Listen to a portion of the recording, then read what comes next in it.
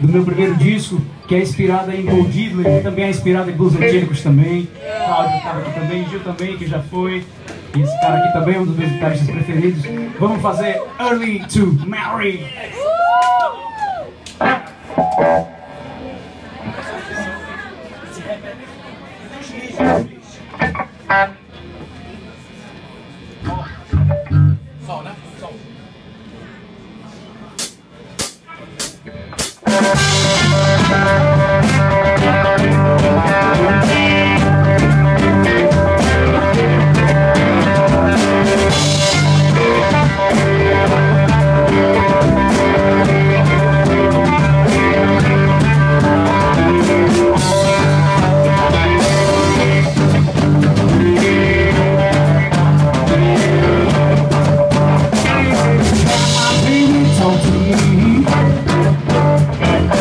Thank you.